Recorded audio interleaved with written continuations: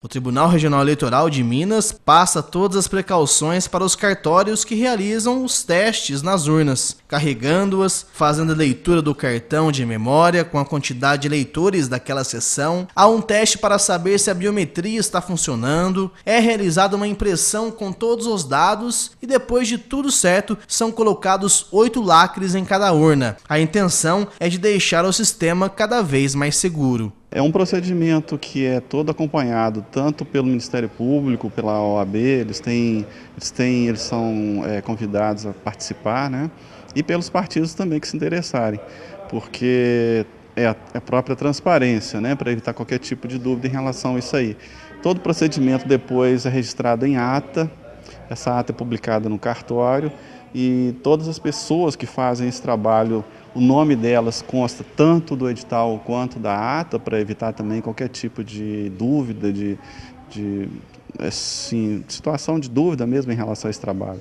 Mas será que as pessoas acreditam que realmente a urna eletrônica é segura? Este equipamento começou a ser utilizado no Brasil em 1996, inicialmente para municípios com mais de 200 mil eleitores. Já em 2000 passou a ser obrigatório a sua utilização em todas as cidades. Mesmo assim, tem gente que desconfia da sua eficácia. Eu acho que não é seguro, porque já houve muitos casos de sabotagem nas urnas. Então, para mim, não é seguro. Eu acho que não, por conta que você nunca sabe se aquele voto que você deu será mesmo que você deu. E quando você vota nulo, você tem certeza que esse voto nulo realmente foi anulado? Né? Então fica bem complicado a gente ter essa segurança quanto à eleição, já que tá, né, o Brasil é uma bagunça. Por outro lado, tem outras pessoas que vê segurança nas urnas eletrônicas, principalmente aquelas que ainda lembram das antigas cédulas de papel. Muito mais seguro do que na época que era de cédula, né? Então, votou, foi o voto para a urna, já era.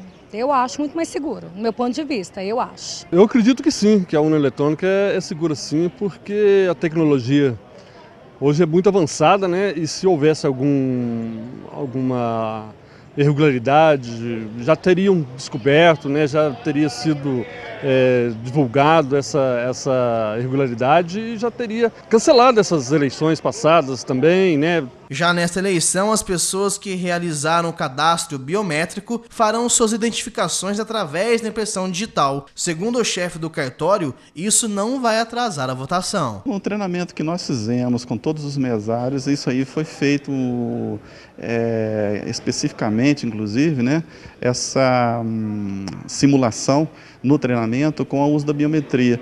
Não demorou tanto não, né? Agora, como isso foi com mesários, tem uma diferença, porque no dia da eleição vai ser com os eleitores, né? Então, cada um tem uma situação diferente e tal. Mas não foi tão, não demorou tanto assim não. Vamos ver como é que vai ser no dia, né?